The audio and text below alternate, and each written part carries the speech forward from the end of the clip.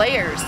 Good layers. Invest money in the really good stuff and wear good layers.